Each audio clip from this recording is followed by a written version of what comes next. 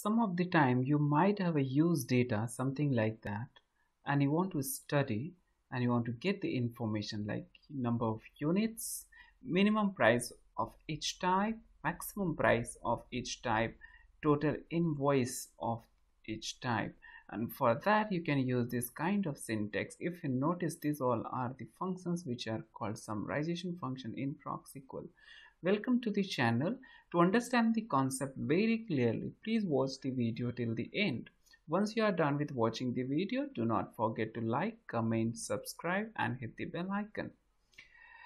Today we're gonna see these all are the functions which are used for summarization of tables or to have a summarized study of your table in SAS.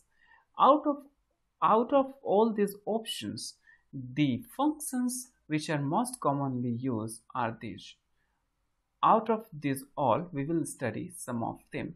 Rest of these functions are quite statistical, which we would cover when we start statistical learning in SAS.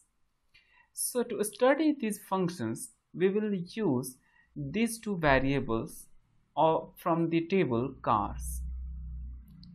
So let's go ahead and see the functions one by one. So the first summary function which we're gonna see is count, freq or n. Here, freq stands for frequency and n stands for number of observation count is quite obvious to understand means it is counting the occurrences of observation in a table so if you see it says aggregate number of non-missing values. So this all these three functions gives you the same number n those numbers are non-missing values of a given table. Sorry of a given variable. Let's go to the SAS and try using all of these. So here previously it has been used.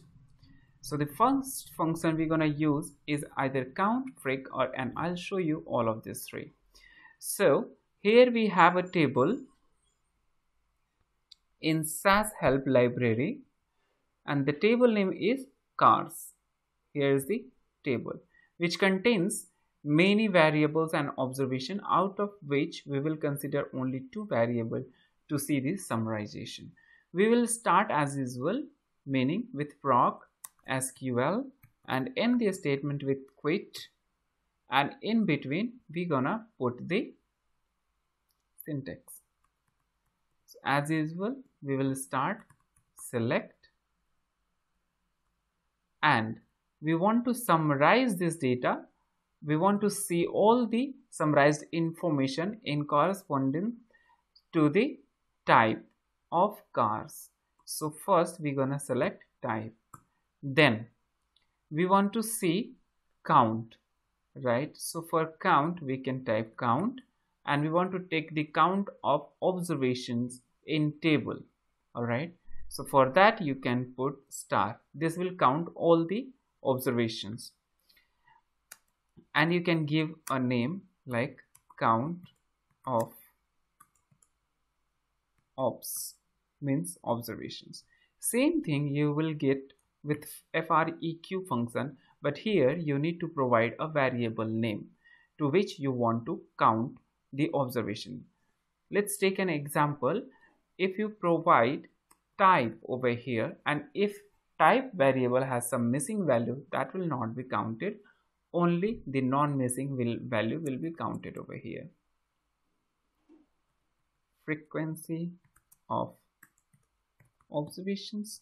Then same thing we can obtain using the type function as number of observations.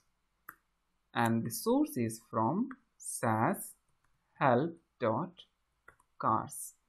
And always remember when we are using any kind of summarization function we must do a grouping. So for that we will use group by group by type you can write here we want to group this information and see it for type. So instead of typing instead of writing type you can also write one. Means it will group the data on first variable and then end with a semicolon run this. Here you can see the information. All right means for hybrid car it has three units for suv it has 60 units. And if you can see all of these have same information means there is no missing observation. Because count will take total count of the observation in a table but frequency and n are going to show you non-missing values in the given variable. Now let's go to the slide again and see next function. The next function we're gonna see min. Means we're gonna find the minimum value of a given variable. So here we have one variable invoice which is which we can see which we can say the sale price or maybe we can take MSRP or invoice. Here we will take invoice and we're gonna see what is the minimum invoice for type SUV same what is the minimum SU is invoice for type sedan? So let's go ahead and try that. You don't have to do much min and invoice. As minimum invoice. And we we have to keep it grouped on type.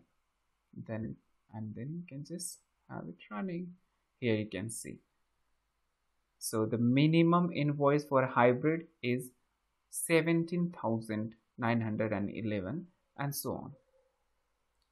Let's see what next we have. Next we have max. The same thing you will get the maximum. For example you want to find what is the maximum invoice then you can type max and in the parenthesis operator you just need to put max as max invoice. And you can again have it running. So you can see the maximum invoice for hybrid is 18926 let's see what next we have. Next we have average or mean. Both of these two things perform the same operation. So let's go ahead and try that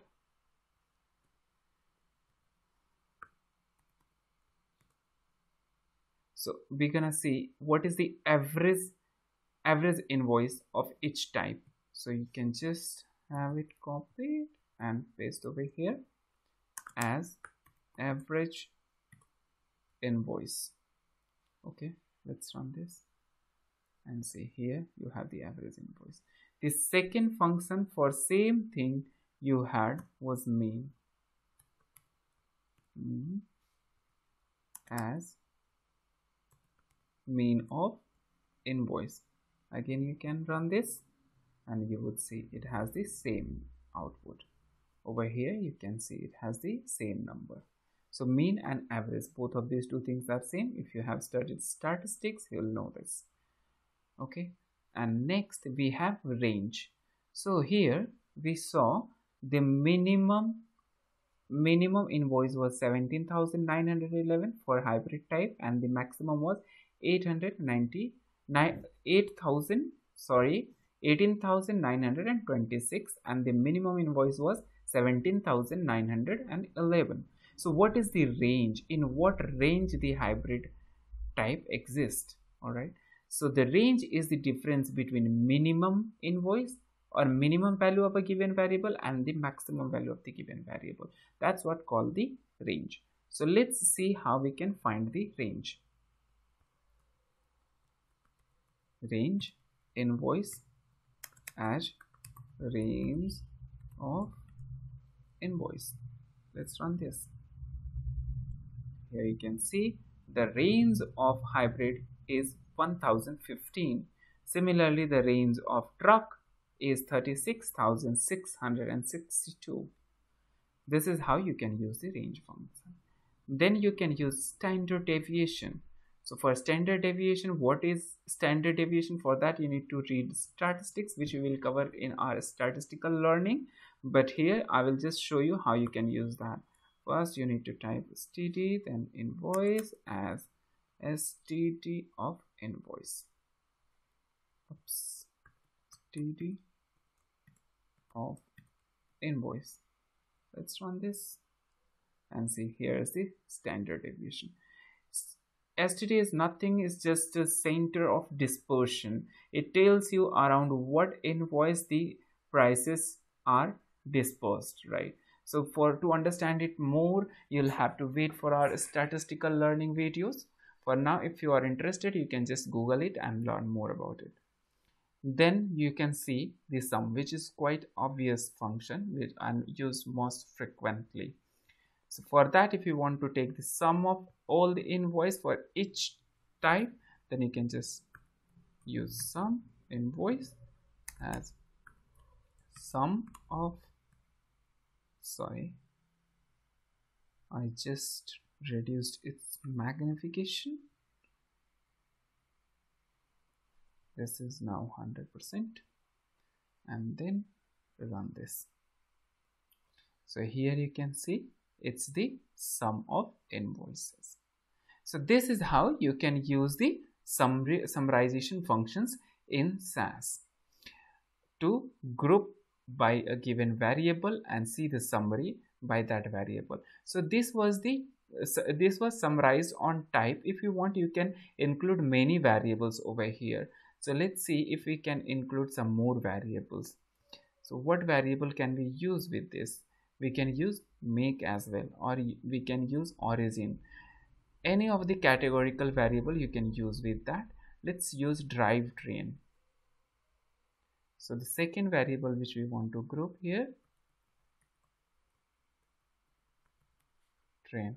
And then in group by you will have to put the second variable name. Either you can type the variable name or you can just put the sequence of that. And then just have it running so you get this information you get the information like this. So it's a, it says that you have a type SUV and in SUV you have two drive trains. One is all the other one is front. And then as for SUV all you have 38 units. For SUV front you have 22 units. And same the information follows. You can just try it at yourself as many uh, variable categorical variables you want you can include over here and you can do not forget to put them in include them in group by statement. If you don't put that that will not give you correct information. So thank you very much for watching the video. I just hope you like this. If you like this video don't forget to hit the like button. If you have any kind of doubt on this video, please do not forget to put your feedback in the comment section. Till now, enjoy and have a great day.